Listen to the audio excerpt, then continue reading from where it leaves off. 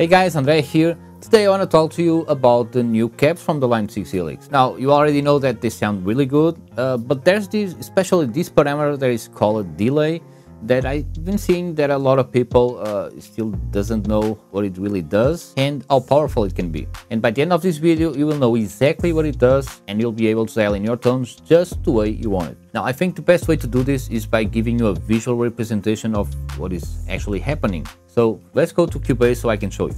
This delay parameter has two important functions that I can think of. One of them is to widening up the audio and the second one is to align IRs. Okay, before we jump to the Helix, let me show you because this is really important. So in yellow you can see two different takes that I recorded and in gray is the same take that I doubled. Both are panned hard left and hard right because this only works if at least one of them is panned. They are both in the center. Uh, the only thing you'll do is mess up uh, your sound. Now think of this like the yellow one is like if you have two guitars in one band playing live and the gray one is if you are the only guitarist in your band. So Here's how it sounds two guitarists. Here's how it sounds on guitarist.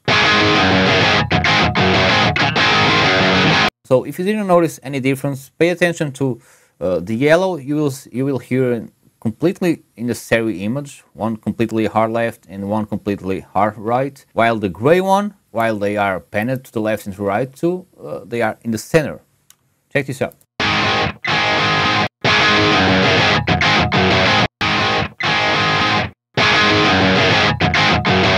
So why does it happen?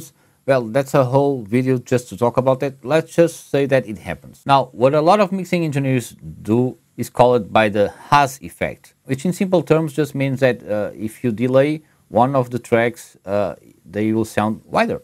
So let's do it. I will move forward one of them. And now let's see how it sounds. And I will be swapping to the original position and to this one.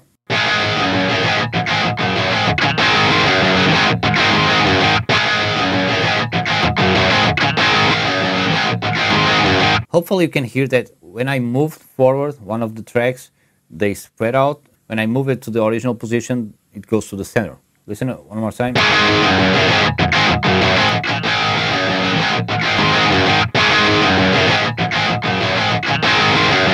This is exactly what the delay parameter does. When you adjust it, move forward, what you're doing is just moving one of the impulse responses, which looks like this. You're just doing this which I can show you here. So this is a test generator that I use uh, to do this. And here is the signal coming from the Helix without any delay. And in yellow, it's just a delay, not 2 milliseconds, it's 0.2 milliseconds. And you can see that the first wave just moved forward a little bit. And here in green, you can see a 0.8 milliseconds delay. If you compare it, you can see that it's moving a lot forward.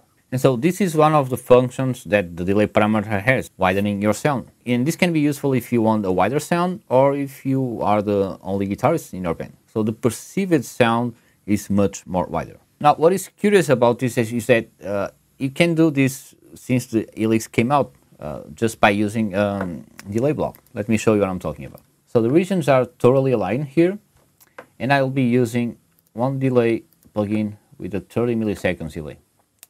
So let me show you what it does.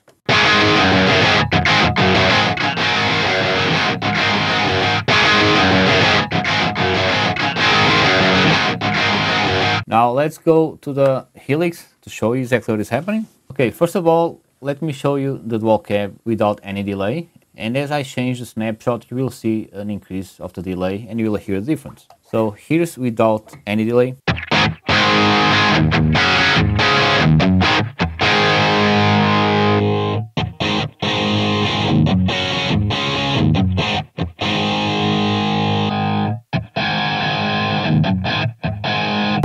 Now some will sound bad. Just know that the higher you go, the wider it sounds and at some point will sound like a room reverb, the early reflections. So let's hear with the 20 milliseconds.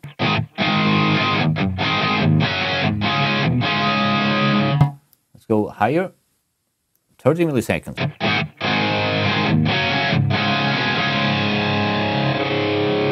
And 40 milliseconds. So here's without any delay and panned uh, to the center. Now here's just panned left and right. You can't hear any difference. And now with just a little bit of delay.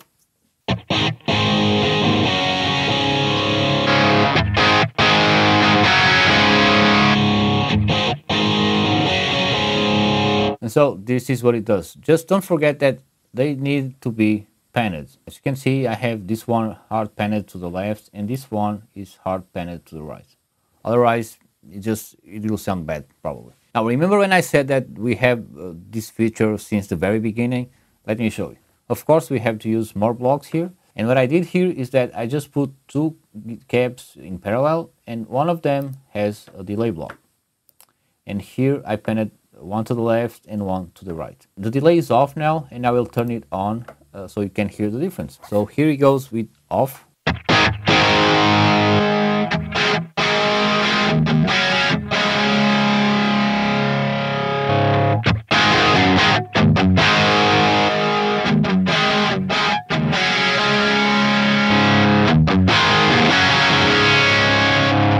So as you can see, the same effect but of course with more blocks, which is a really great feature that we have now with the dual cabs. This delay parameter has two important functions that I can think of.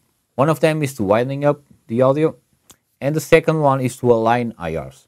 And the reason you need to align IRs is because some manufacturers will give you um, a minimum phase transformer format, and the other ones can give you just the raw format.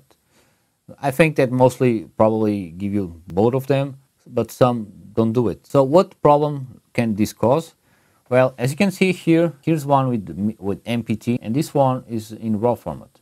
So let me show you how does it sound. So here we have a dual IR block and you can see that this one is MPT and this one is uh, no MPT. And so let's hear how it sounds.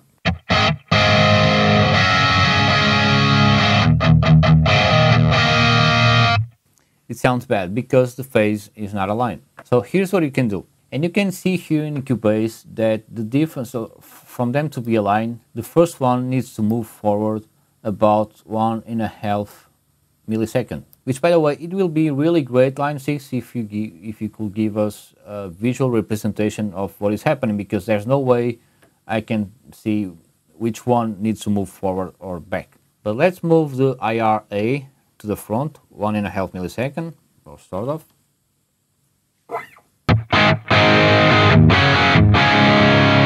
Without delay.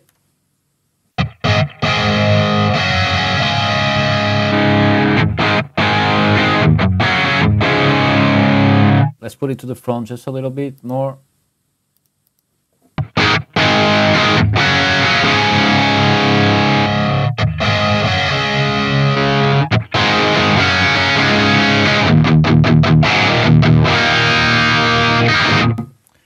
And there you go. Now it sounds great.